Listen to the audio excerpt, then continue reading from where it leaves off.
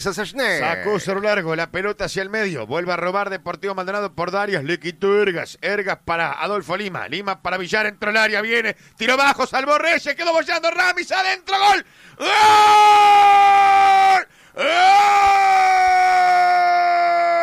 Cerro Largo. Rami.